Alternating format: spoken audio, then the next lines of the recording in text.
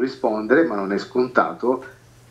quanto costa un fuori servizio per il cliente. E qui in questa slide sono riportati dei valori, sono le perdite in euro eh, a secondo del segmento applicativo del, del cliente, se si occupa di, di, trasformazione di prodotti alimentari, farmaceutico, dipende, assolutamente dipende, ma sono numeri, qualunque questi siano, davvero sempre molto importanti. Fino ad arrivare nel caso di ospedali a rischi che non possono essere accettabili, ovvero oltre di perdere dei soldi anche di perdere delle vite umane. E allora cosa succede? Con tutto questo contesto, con tutti questi nuovi bisogni e implicazioni no, in casa dei clienti, cosa succede? Succede che abbiamo visto quanto è importante proteggere e assicurare la disponibilità dei dati,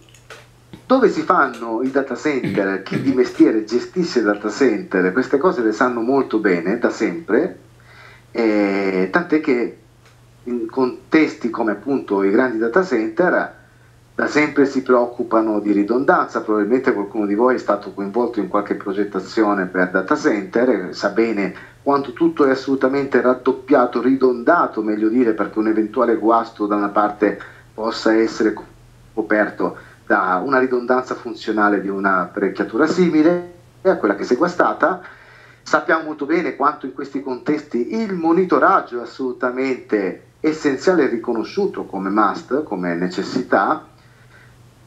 la sicurezza, lì ci sono cose importantissime e allora bisogna anche garantire che queste siano al sicuro anche dal punto di vista di accessi da parte di personale non autorizzato o non formato, tutto ben organizzato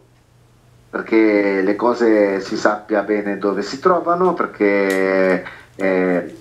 l'infrastruttura, il sistema, la soluzione, l'impianto sia sempre ben eh, conosciuto e ben organizzato dal punto di vista anche della documentazione, della, della, della gestione, perché in caso di problemi si spenda meno tempo possibile a ripristinare. E infine, per quest'ultimo aspetto, lì c'è normalmente presente del personale IT fortemente specializzato perché nel momento in cui si verifica un problema lo si possa risolvere in tempi decisamente stretti e rapidi. Quando invece il dato non è gestito nei grandi data center, non è gestito in un data center, ma abbiamo detto sempre di più, deve essere gestito anche localmente. Ecco, in questo localmente normalmente cosa succede? Mm? Probabilmente quello che vedete in questa immagine. Quindi quelle che abbiamo imparato prima, essere chiamate applicazioni locali di edge computing, normalmente oggi li associamo a armadi REC senza sicurezza, nessuna ridondanza, mancanza di condizionamento dedicato e quindi anche rischio di, di far durare le apparecchiature IT meno del previsto, nessun monitoraggio, nessuna gestione, mancanza di personale locale competente. Lascio a voi le riflessioni per valutare quanto spesso, non, non, voglio assolutamente dire che è sempre così, ma lascio a voi la riflessione su quanto poi effettivamente e quanto spesso questo realmente accade. Dobbiamo ricordarci che creare eh, nodi dell'infrastruttura IT, in modo che ci sia la possibilità di gestire i dati in maniera sempre più vicina dove i dati vengono generati, di fatto implica anche che l'edge computing verrà adottato non solo in ambienti similari a quelli IT, il locale tecnico ben protetto, ben pulito, come un, un ambiente eh, cosiddetto white space, quindi è particolarmente attenzionato dal punto di vista delle condizioni climatiche, ma sempre di più di conseguenza ci sarà la necessità di realizzare edge computing anche dove eh, ci sono condizioni non proprio perfette. Ambienti tipo uffici, magari open space, dove c'è il problema che apparecchiature IT possono fare particolarmente rumore, c'è il problema che le apparecchiature possono essere fin troppo facilmente accessibili, fino a pensare a cosa succede in ambienti industriali dove ci sono anche condizioni molto gravose dal punto di vista di sporco, umidità, temperature non proprio controllate e così via. Altro tema, e mi avvio a chiusura della mia parte, eh, su cui vi invito a riflettere, è questo. Oggi cambia la percezione di fuori servizio e di conseguenza deve anche evolvere la gestione operativa. Qual è l'attuale, forse sarebbe meglio dire il vecchio paradigma? In un mondo dove c'è sia la parte IT sia la parte OT. IT significa Information Technology, quando diciamo OT intendiamo la tecnologia operativa, l'impianto, le macchine, quella parte lì. Molto in sintesi, abbiamo da una parte magari un IT manager, dall'altra parte un responsabile manutenzione, un facility manager, poi eh, non mi soffermerei su, sul titolo, ma eh, abbiamo normalmente squadre, figure, persone distinte, perché giustamente hanno specializzazioni diverse, che si occupano della loro rispettiva parte e normalmente tendono anche a privilegiare alcune parti del sistema perché storicamente le abbiamo sempre considerate più critiche. L'IT manager ad a curare in modo attento il data center perché se casca quello è un problema molto più critico che di altre cose e magari l'operational technology manager, il facility manager, il manutentore tende normalmente a fare particolare attenzione che la distribuzione elettrica primaria, la cabina non abbia problemi perché se c'è un problema lì, caspita, si ferma tutto. Eh, sto un po' semplificando il concetto, ma eh, cos'è che, che voglio arrivare a dire? Che in ogni caso questo paradigma è diventato superato. Oggi abbiamo convergenza dal punto di vista delle tecnologie che sempre di più si intrecciano, le tecnologie operative che sempre di più si basano sulla infrastruttura IT per poter funzionare e dall'altra parte questo deve generare anche un approccio diverso da parte delle figure all'interno del cliente che le gestiscono. Quindi IT manager, facility manager che devono collaborare tra di loro perché magari una funzione del facility manager potrebbe aiutare il primo a recuperare velocemente un problema su un sito periferico e allo stesso tempo deve cambiare anche la, conver- la percezione di fuori servizio perché oggi un fuori servizio sul sito più periferico è critico o addirittura può essere più critico del fuori servizio nel sito centrale, nel data, grande data center oppure nella, nella cabina. Perché? Perché il fuori servizio sul nodo periferico, sull'utenza periferica, potrebbe essere, anzi normalmente lo è, molto più critico da risolvere e da recuperare. Non ho le persone super competenti, specializzate che sono lì disponibili, se provate ad immaginare un'azienda che ha N filiali, normalmente le persone specializzate in ambito IT le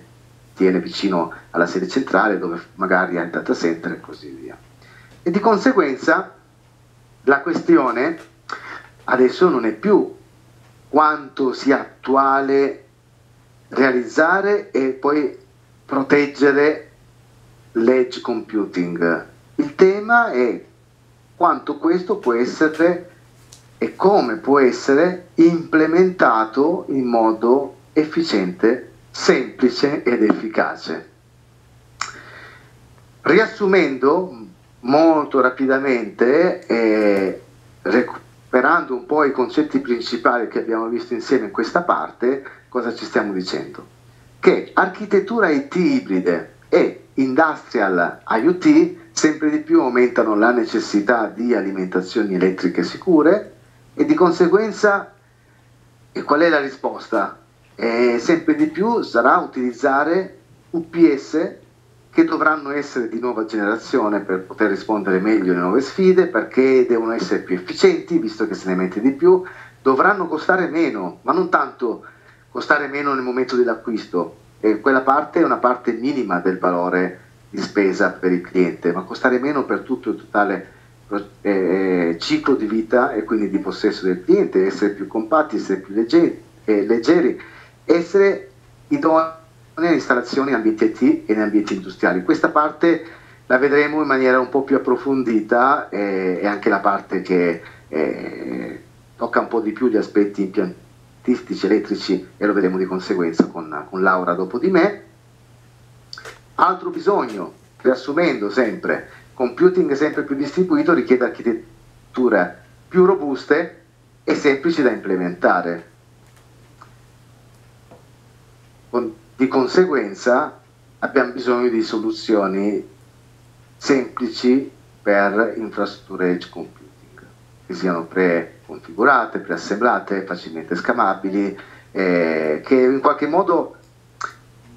vadano ad, a, a, ad, avvicinarsi in termini di resilienza, di protezione, di, di, di gestione anche delle condizioni climatiche a quello che di fatto si fa nei grandi data center. Stiamo parlando di, di micro data center, quello che vedete nelle immagini è un esempio, è uno, è uno dei nostri micro data center e ovviamente tra le varie caratteristiche che eh, deve essere possibile installarle sia in ambienti che hanno le caratteristiche IT, tipiche IT, ma anche ambienti eh, industriali, ambienti cosiddetti non IT. Ripetevo, ripeto, quello che dicevo prima, è, quello è nell'immagine un esempio, ma poi ci sono tantissime forme, si, si arriva fino al, al, container, quindi un micro data center già pronto, magari anche per quei clienti che non hanno possibilità di creare spazi importanti quando questa è concretamente una necessità, ma si arriva lì passando da soluzioni ben più compatte come soluzioni che hanno anche la possibilità di mimetizzarsi meglio in un contesto uffici come eh, micro data center eh, rifiniti in legno oppure micro data center che sono piccole cassette ma con caratteristiche importanti sia in termini di protezione ma anche in termini di monitoraggio. Mm? Questo è un esempio, il nostro micro data center da 6 unità REC. Infine,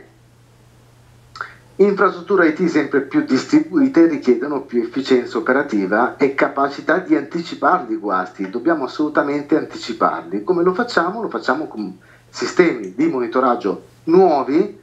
che sono cloud-based ma innovativi perché recuperano continuamente informazioni dalle apparecchiature, dalle infrastrutture, offrono un monitoraggio intelligente e quindi che permette di recuperare i cosiddetti insights sullo stato di salute delle apparecchiature, degli asset a loro collegati. È possibile integrare terze parti che siano ovviamente sicuri e facili anche da configurare, è un'ulteriore necessità assolutamente presa in conto. E questo in Schneider Electric ha un nome, si chiama EcoStructure IT. EcoStructure IT a sua volta è parte di una piattaforma completa di Schneider Electric la piattaforma digitale che permette di gestire in modo efficiente ed efficace e quindi di far risparmiare soldi ai clienti in un contesto sempre più digitalizzato che oltre a essere specifica eh, nella, per l'ambiente IT, per le infrastrutture IT, eh, può trovare declinazione anzi alle sue specializzazioni anche in ambito di edifici, infrastructure building, in ambito di distribuzione elettrica, macchine edifici eh, industriali, plant e, e, e, reti. Vi saluto con questa parte eh, lasciandovi un ulteriore e ultimo stimolo da parte mia. L'internet delle cose è un'evoluzione pervasiva, non la gestiamo, è un'onda che ci travolge, no? E quindi dobbiamo portare a casa nuove competenze professionali. Con nuove competenze professionali possiamo portare valore al cliente. Noi crediamo tantissimo nella figura del progettista perché riteniamo che sia il nostro principale e a maggior valore aggiunto tramite per comunicare col cliente finale. Eh, ovviamente sappiamo che eh, non si può essere specialisti di tanti ambiti, ognuno è specialista del proprio ambito, ma la trasformazione digitale in atto richiede comunque nuove competenze, le cosiddette nuove skills, che permettono di interpretare quello che sta succedendo, continuare a essere visto dal cliente un consulente che quindi lo accompagna nelle scelte, lo accompagna ad adottare le proprie eh, soluzioni e per quanto ci riguarda ovviamente poi siamo a disposizione per, per supportare quando la tematica è, è specifica. Come sempre grandi trend portano nuove sfide che richiedono nuove competenze, ma che sono anche delle grandi opportunità. Quindi eh, l'invito è che questa innovazione sia davvero abbracciata perché possa portarci verso nuove strade, verso un futuro dove appunto possiamo cogliere nuove opportunità. Da parte mia è tutto, lascio la parola